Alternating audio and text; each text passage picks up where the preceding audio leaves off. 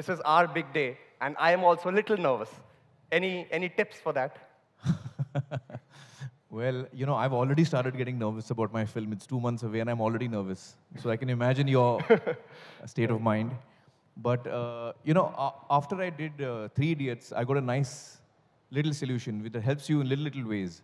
You, put, you take your right hand and put it on your heart, and you say, All is well. All is well. थोड़ी राहत मिलती है उससे Sure.